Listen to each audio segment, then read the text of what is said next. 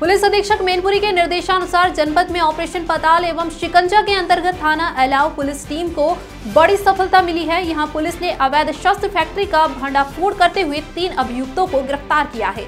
इनके पास से भारी मात्रा में अवैध शस्त्र व शस्त्र बनाने के उपकरण बरामद किए गए हैं।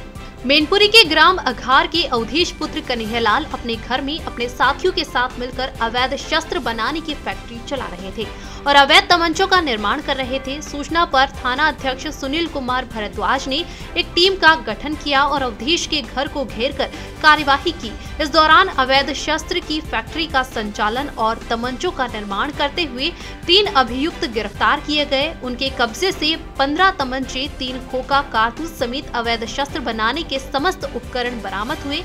अभियुक्त गण लंबे समय से अवैध शस्त्र की फैक्ट्री का संचालन करते आ रहे हैं। भारी मात्रा में अवैध रूप से निर्मित किए हुए शस्त्रों को गैर जनपदों में बेचने हेतु भेजा जाता था। पुलिस आरोपियों से पूछताछ में जुटी हुई है। मैनपुरी जनपद अंतर्गत एलायू थाना में आज एक शस्त्र फैक्ट्री पकड़ी गई है। ये आघार के अवधेश के बारे में जानकारी मिल रही थी कि बहुत दिनों से इनके द्वारा ये अवैध शस्त्र बनाया जा रहा है और इसके आसपास के जनपदों में सप्लाई किया जा रहा है। इस सूचना के आधार पर एस ओ एलाऊ द्वारा अपनी टीम के साथ दबिश दी गई। तो वहाँ पे भारी मात्रा में अवैध शस्त्र बनाने के सामान और पंद्रह बने और अर्धनिर्मित तमंचे बरामद हुए। इन वहाँ से तीन व्यक्तियों को गिरफ़्तार किया गया, रवि, अवधेश और दीपक को।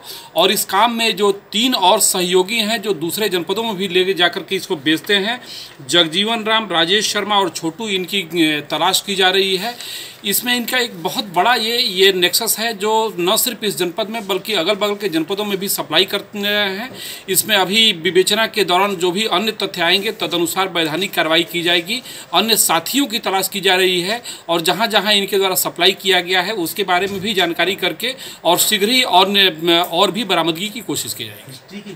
और इसके बारे में इनके जो आपराधिक इतिहास तो पूर्व है लेकिन ये बार बार ये सूचना मिल रही थी कि वहाँ से अवैध शस्त्र बेचा जा रहा है। बहुत दिनों से इसके पीछे कार्य किया जा रहा था और अभी सूचना संकलित करके और तब ये वहाँ पे दबिश दी गई और मौके से ये सारे सामान बरामद हुए।